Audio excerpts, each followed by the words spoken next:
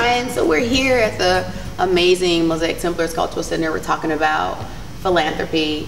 Um, and for a lot of people, you know, that's a, a big word. Um, but if you could talk about that a little bit, especially in the context of the museum um, and the Mosaic Templars, uh, who were philanthropists and who gave back to the organization, and kind of how important is philanthropy, particularly in the African American community.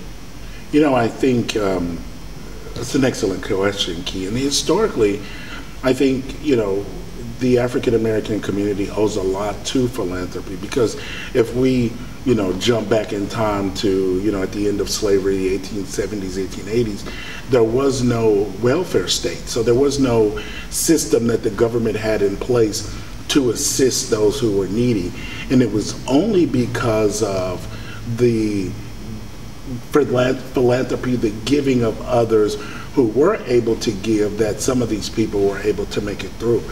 That's also the time you see the rise of mutual aid societies, where uh, members of the community came together with the with the understanding that they were all going to give in the case that along down the road somebody needed even they, you know, even themselves, you know, you may give at this day, but later you realize that, you know, you may uh, have a health emergency or there may be a natural disaster where you're in need. And so uh, the community was all about giving and all about philanthropy, even in churches, right? We see a lot of black churches that were built the, during that time.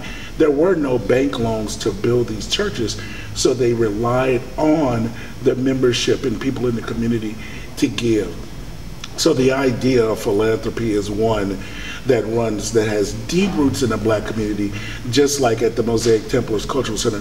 One of the things that you said that I think is really key and kind of important is you talk about that philanthropy immediately after um, enslavement. And so yeah. you're talking about people, some people who don't have a, a lot, but they're just they're giving uh, what they have. So you don't necessarily need to have you know an exorbitant amount of money to be a giver. Right, right. I remember, you know, growing up, my great grandmother would give every Sunday, whether it was a dollar or a quarter.